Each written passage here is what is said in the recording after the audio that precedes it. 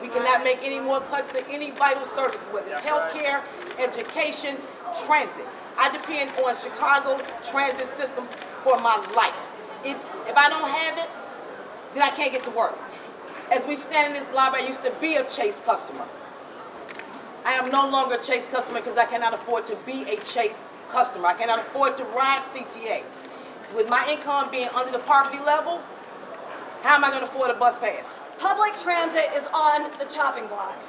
A report by Refund Transit being released today shows that now nearly 80% of transit agencies across the country have been forced to slash services or raise fares in order to make ends meet since the beginning of the recession.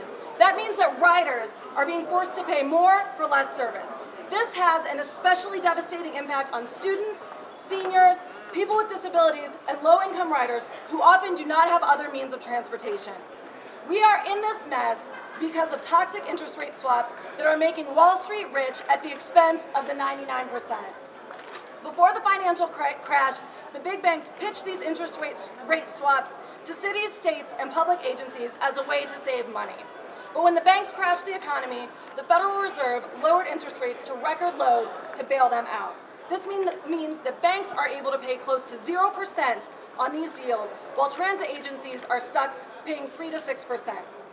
The banks get to keep the difference as profit, which is now costing taxpayers across the country more than $2.5 billion every year.